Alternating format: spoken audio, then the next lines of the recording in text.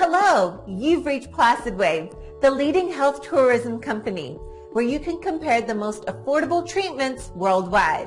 Subscribe to our YouTube channel and get instant access to all of our latest health videos.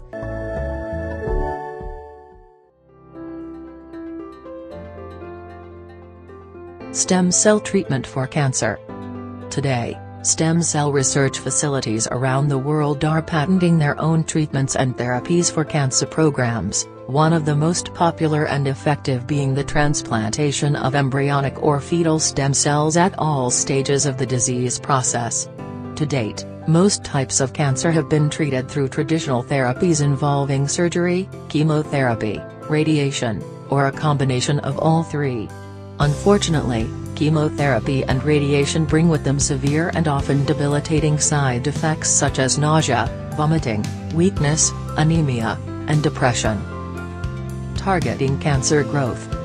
Stem cell researchers and medical professionals around the globe are studying a variety of stem cells and how they may be used to treat various forms of cancer.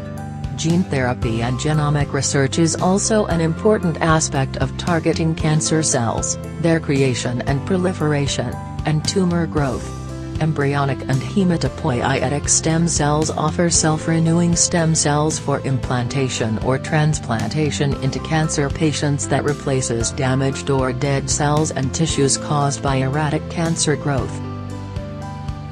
The University of Michigan Comprehensive Cancer Center is just one of the few in the United States engaging in research and studies in targeting and destroying cancer stem cells that may offer stem cell therapies and treatments for many different types of cancer, including Hodgkin's disease, leukemia, breast cancer, prostate cancer, and testicular cancer, among many others.